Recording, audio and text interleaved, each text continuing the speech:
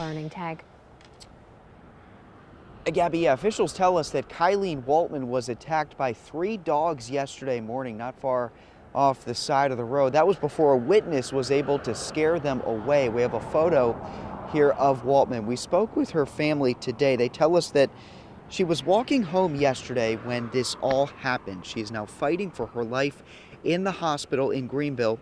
Her family tells us she's in the ICU. Here's what her sister had to say this afternoon. She was walking home on Ball Dirt Road, and uh, she got to a, a place where there was dogs, and the dogs had attacked her, and uh, now she's fighting for her life in the hospital. They had to take both of her arms off. Um, they she was about dead when they found her. She done bled out. She died three times so far, and they couldn't take her leg off.